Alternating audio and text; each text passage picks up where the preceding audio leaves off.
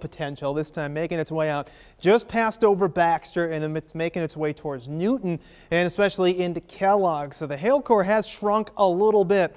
Uh, I'm going to throw up our severe threats, is what we call it here. Um, tool. And you can see this was just a scan ago. It made its way just on the north side of Baxter.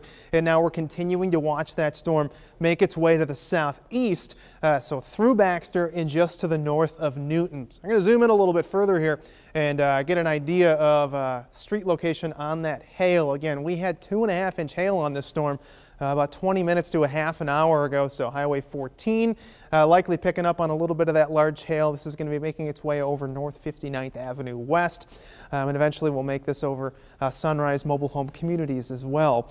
Um, so pretty big storm that's been churning its way through and we've uh, had some strong winds with this but the main story has been the hail and the heavy rain. Uh, you can see not seeing any of those bright greens. That's typical of the very uh, strong winds.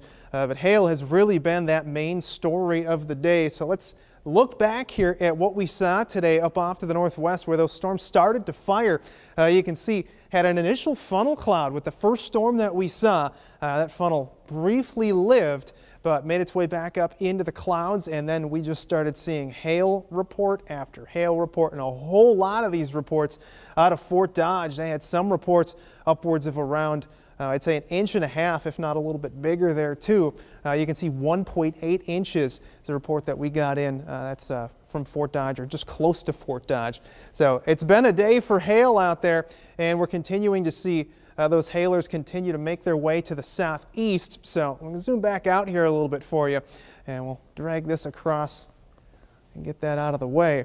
Uh, but you can see even stronger storms off to the east here. Actually had a tornado warn storm out near Cedar Rapids. So still some showers and thunderstorms moving through Ames too. Again, these are sub-severe, but I know a lot of people that are hoping for rain, and this would be probably the best chance. It's not going to be hitting those areas west of the metro that need it more desperately. Uh, but you can see this line right here. It's called an outflow boundary. It kind of acts as a shovel and just kicks up all those showers and thunderstorms as it moves through. So that'll give the metro a chance in areas like Ankeny, but if you're much west of Perry, not looking like a decent chance for showers for you. Um, and I know I know a lot of people need that rain, but right now, not looking like the case. We've been dry all day in the metro. Downtown, clear skies.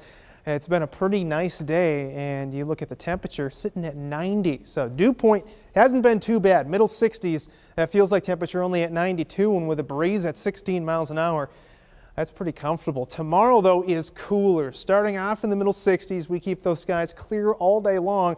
Temperatures climbing back into the middle 80s. So it's not going to get too warm tomorrow in your eight-day forecast.